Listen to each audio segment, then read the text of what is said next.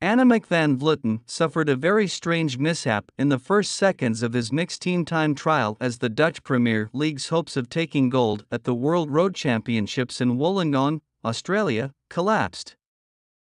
Just moments after coming off the starting slope, Van Vleuten suddenly and inexplicably swerved across the road and smashed the barriers. Disaster, cried Rob Hatch in Eurosport's suspension. Time trial world champion Eileen van Dijk almost got caught too, having to unlock her while making an unscheduled ride across her doomed bike to her teammate. Van Vleuten was left in a crumpled pile on the floor, hands on her helmet in shock, while Van Dijk and Ryan Marcus set out to save the race. The Dutch are doomed. From the start. My dear, my dear, my dear.